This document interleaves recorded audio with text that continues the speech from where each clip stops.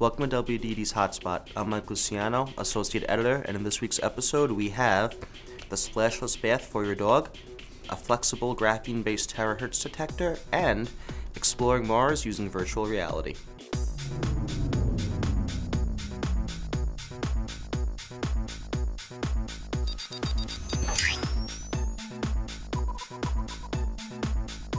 For dog owners, bath time is a chore that's mutually dreaded by both themselves and their pets. This device might not only take the hassle out of giving your canine companion a bath, but provide a thorough wash in what might wind up being an enjoyable experience for you and your pet alike. Known as the Bark Bath, the device is essentially a vacuum cleaner for your dog. In other words, the Bark Bath provides a method of washing your dog without hauling your pooch in and out of a tub along with the splashing and splattering that occurs in between. The Bark Bath's specially designed nozzles work on canines with both long and short hair. You first fill the tank with warm water and a special no-rinse shampoo. To mix the solution, you spray the mixture through the nozzle. The vacuum's nozzle helps suck dirt off the skin and hair of the dog, similar to how a carpet cleaner extracts dirt. One tank of water can completely wash canines up to 80 pounds, and the device uses up to 50 times less water than a traditional bathtub. Bark Bath's hose is long enough so you can clean your pet far enough away from any noise the device makes, which is especially helpful with people who have skittish or anxious pets. The Bark Bath only costs $150 and is definitely something all dog owners should look into purchasing. Researchers from Chalmers University of Technology have created a flexible detector for terahertz frequencies.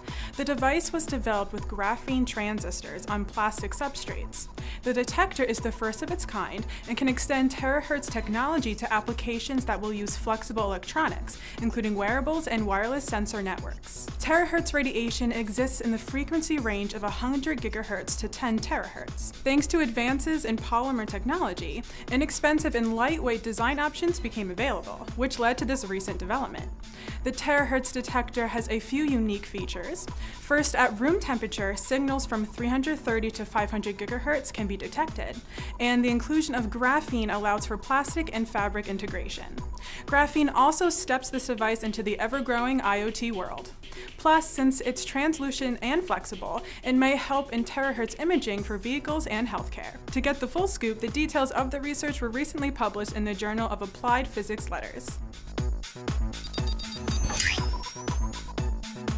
If you've ever been curious about what it would be like to walk on Mars, you don't have to wonder anymore. Scientists at NASA's Jet Propulsion Labs teamed up with Google to produce Access Mars, an immersive experience. Users with a virtual reality or augmented reality headset and a computer or cell phone can follow the paths of the Curiosity rover.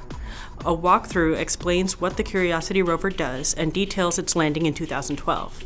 Users can also visit four sites that have been critical to NASA's Mars Science Laboratory mission, including Curiosity's landing site, Murray Buttes, Marias Pass, and Pahrump Hills.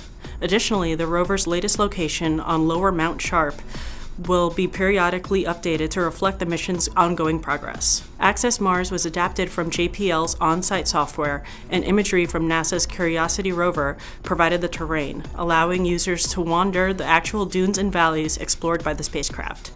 The free experience was built on WebVR, an open source standard. That's all for this week's episode. Be sure to check in on Facebook and Twitter and catch past episodes on wirelessdesignmag.com. For the WDD channel, I'm Jennifer Hooker. Thanks for watching.